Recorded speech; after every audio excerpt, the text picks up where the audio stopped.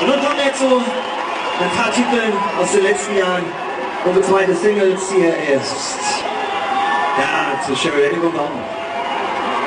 Das kommt 80er. Hier ist Juliet. Hier ist Last Exit to Brooklyn. Und Don't Take Away My Heart.